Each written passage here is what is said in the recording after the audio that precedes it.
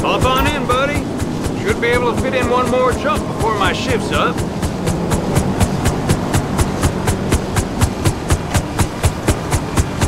But Jesus!